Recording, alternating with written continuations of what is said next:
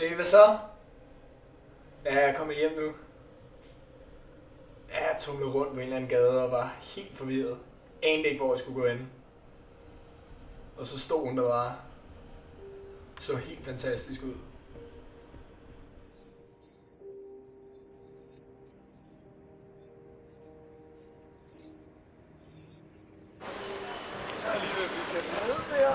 Ja, og du ved, så går vi ned og begynder at snakke, og det virker bare som om det klikker med det samme.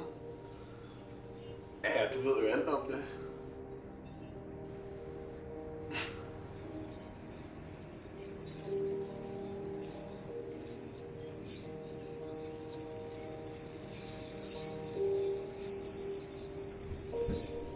Ja, ja.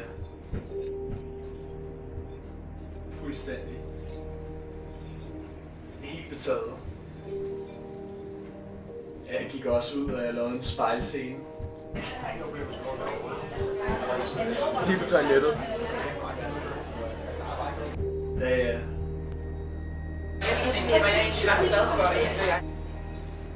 Gik ud på toilettet og sprøjtede vand i hovedet. Det bliver jo ligesom nødt til jo. Det kan du godt forstå. Jeg er lige tilbage. Ja, ja, ja. Ej, det går rigtig godt. Det er rigtig godt. Det er rigtig godt. Ej, men øh, vi kan i sved. Ja, okay, hej. Ja, ja, den sad der bare. Du ved, det der...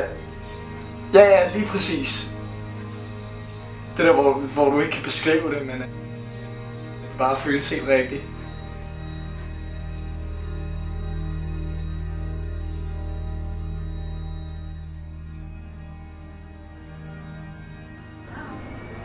Jamen, jeg, skal den vej. Jeg skal til Valby. Nå, så ses vi. Det gør vi.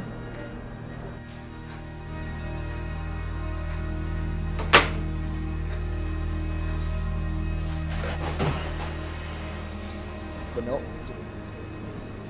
Ja, Snart. vi snakkes ved. Mm-hmm.